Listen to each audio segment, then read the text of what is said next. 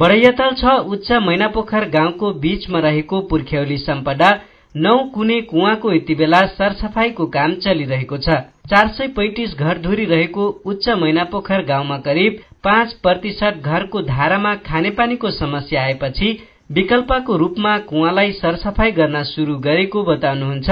स्थानीय करुणा थारू। पानी रट्न समस्या बाकी का बताइस अरे हम खाइना खाना बनैना खैना यहाँ लंको पानी खाने से कटरा कटरा यहाँ केकरो धारा में पानी आइटा कहना केकरो मुहे नहीं सुन कि हम धारा में बढ़िया पानी आइटा कैसे मोटर तो जैसे बंदे बा, धारा से कसे किल से एक बाल्टी निकाल मिले। जार के पानी ना नन खाए के हम यह लहैना वहैना तो गटर गटर पंप पानी तो करा के कराइते बाटी अभी समस्या छुटकारा पाइक लागू फसो कराइट रही काल अभिन कराइते बाटी विक्रमसम्म दुई हजार सत्ताइस सालमा स्थापना भएको नौ कुने कुवाको गहिराई करिब पैंतालिसदेखि पचास फिट रहेको छ। विगतमा यो कुवाको पानी उच्च मैनापोखर खलुवा मैनापोखर र लोखरपुर गरेर तीन गाउँका मानिसहरूले विभिन्न काममा प्रयोग गर्दै आएका थिए। पछि घर घरमै धारा गाड्न शुरू भएपछि कुवाको पानी प्रयोग गर्न छोडेको बताउनुहुन्छ गाउँका बुद्धिजीवी प्रदीप सिंह थारू। गुदरी लगा के केस दबाई मुंह कैंसर और बनाए जाम के वो हमारे बहुत शुद्ध पानी बहुत एकदम बढ़िया पानी जातो मक्का। वो पानी पहले प्रयोग हुए सर।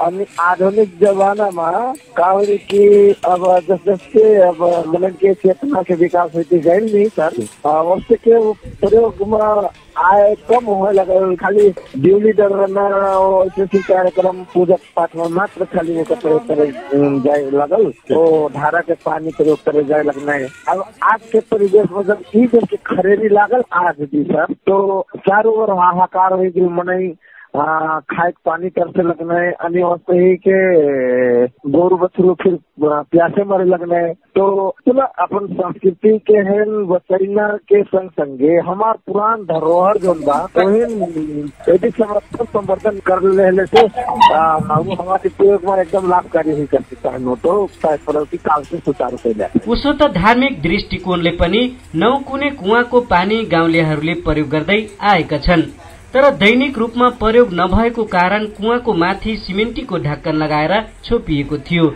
अहिले फेरि पानीको हाहाकार बढ्दै गएपछि कुवाको मर्मत र सरसफाई गरेर प्रयोगमा ल्याउने बताउनुहुन्छ उच्च मैनापोखर गाउँका बर्घर समितिका सचिव नारायण प्रसाद थारू। पहिले पहिले रहेको कुवा तो सारे कोनो बनाए कोनो बनाए तर चाहिँ हमन के ग्रहण के रहे तो उ अनुसार कहे पल की अब एक एक कोशी बचे जिला में नहीं कैसे हमारे इन नौ कोन में बनाई के बाद हमरन के यहाँ चार सौ पैंतीस दूरी बाद दस मध्य आठ परसेंट से ज़ोर धारा में पानी सूखी लगा। थोड़े आई जाओ।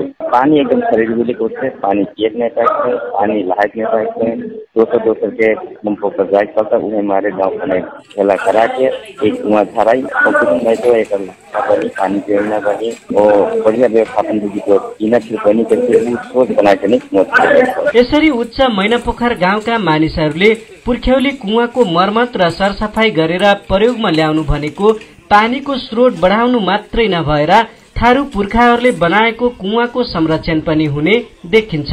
अनुज थारू गुरुबाबा एफएम बाँसगरी बर्दिया।